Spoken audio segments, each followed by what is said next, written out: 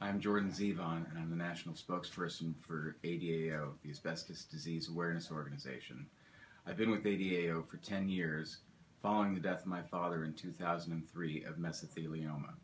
We have no idea where his exposure came from to this day, and this is the misconception that we get from many people is that they think that you have to walk, work around asbestos or that you have to be surrounded. I got a Facebook question the other day that said, uh, how did your father get exposed to so much asbestos?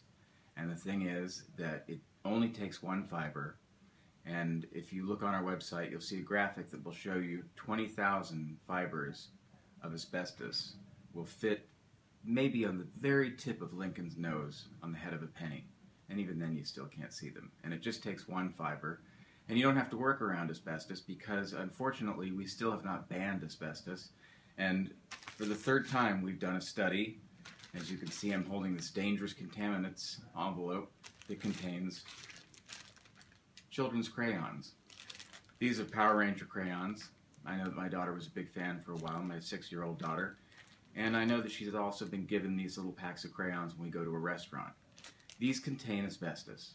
They contain asbestos that came in from China because we do not have a ban on asbestos, even though 50 other countries do the US and Canada are one of the few remaining westernized countries that don't have a ban on asbestos.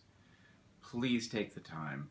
If you want to research for yourself and educate yourself about asbestos, if you want to sign up for our newsletter, if you want to donate, anything you can do to help, we appreciate because we're trying as best we can to protect you and your families from this danger, and that's all we do. We don't do court case litigations, anything like that, not the late night commercials you see on TV.